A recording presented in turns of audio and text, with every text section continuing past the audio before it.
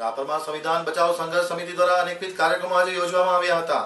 સમિતિના કાર્યકરોએ બંધ માટે વેપારીનો સહયોગ આપવાની અપીલ પણ કરી હતી. અપીલનો પ્રતિસાદ સાંપડ્યો હતો.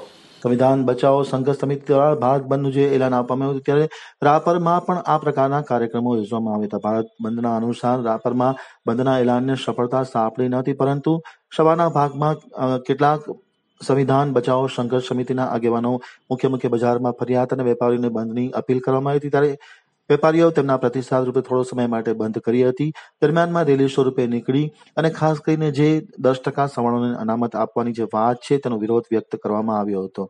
મોટી સંખ્યામાં લોકો ઉપસ્થિત હતા. રાપરની મુખ્ય બજારમાં ફરી અને તેમણે પોતાની વિરોધની લાગણી વ્યક્ત કરવામાં આવી હતી અને વાત પણ રજૂ કરવામાં આવી હતી. સાથોસાથ આવેદનપત્ર પાઠવવાનો પણ કાર્યક્રમ યોજવામાં આવ્યો હતો.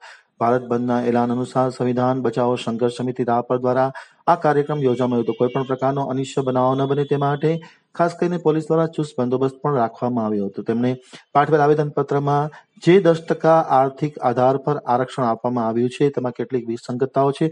તેને લઈને આ જાતિને અન્યાય થયેલો છે તેવી વાત પણ તેમને ઉચ્ચારવામાં આવી હતી.